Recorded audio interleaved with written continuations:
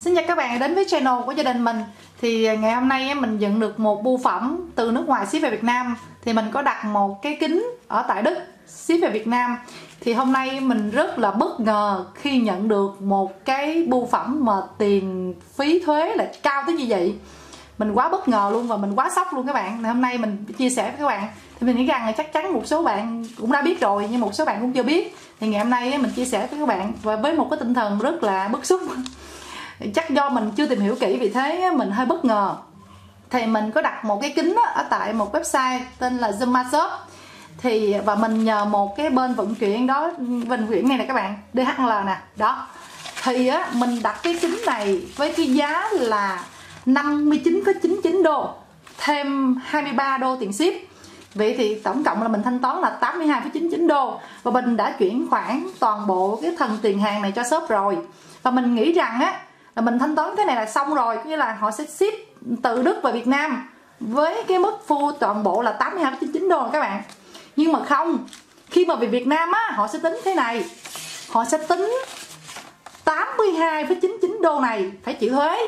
Thay vì 59,99 đô này thì mình nghĩ rằng là khi mà mình mà mình mua hàng á thì mình chỉ chịu thuế với món hàng mình mua thôi chứ.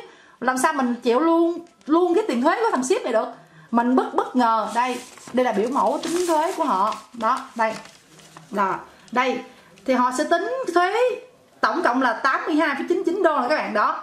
Thì lúc này số tiền nó lên tới là 1 triệu 918 ngàn.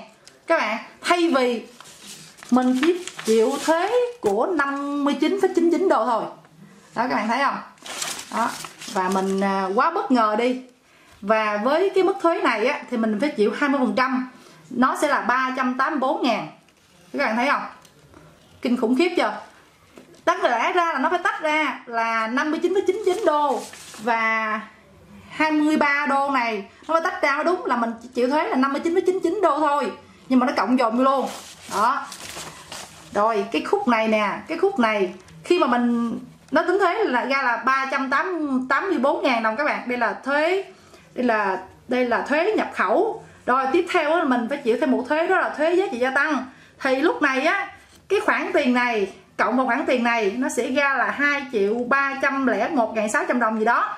Lại phải chịu thêm 10 phần trăm tiền thuế nữa, nó sẽ lên là 230 ngàn đồng. Rồi, vậy thì thuế này, cộng thuế này, đó, nó sẽ ra là tổng tiền thuế mình phải chịu là 614 ngàn đồng. Để thế, tính ra mình mua cái kiến này á là gấp đôi luôn các bạn. Tính ra là nó bằng nó bằng cái kiến mới luôn á, hai kiến luôn á các bạn. Đó, thì đây là lần đầu tiên á mình mua hàng ở bên nước ngoài và mình quá sốc. Vì thế bây giờ mình đã biết là tại sao một số bạn sách tay cái bán hàng sách tay lại rẻ tới gì thì vì à, đó đi tiền thuế à, đây nè. Đây là hóa đơn của mình nè các bạn đó hóa đơn. Đấy để để số tiền mà mình phải trả là 614 ngàn nè. Mình nghĩ mình thanh toán là 82,9 chốn rồi xong rồi không có tùm lum hết trơn. Đó đây nè mình thanh toán là 670 ngàn nè kinh khủng. Rồi. Đây đây là món hàng mua một cái kính.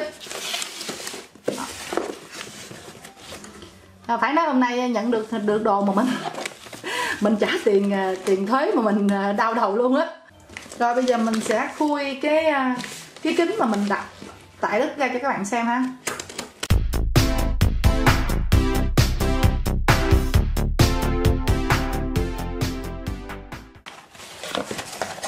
À, đây đây là logo của shop nè shop này chuyên bán đồng hồ các bạn. Nè rất là lịch sự ha nó có một cái à, catalog. Ừ, giới thiệu đồng hồ túi sách của cái hãng này.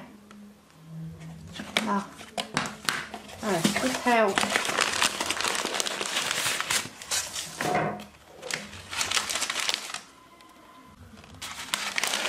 Đây tiếp theo là cái kính ha.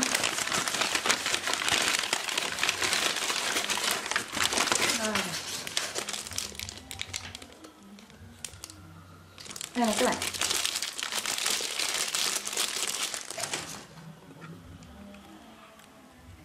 Đây, cái kính này à, ray ban này, các bạn.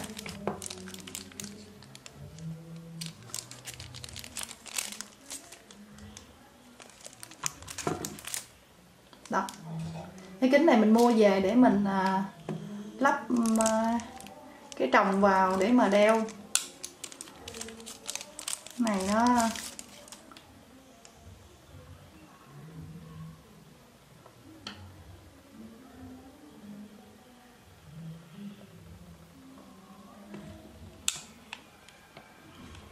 à, cái gọng kính cũng cứng á.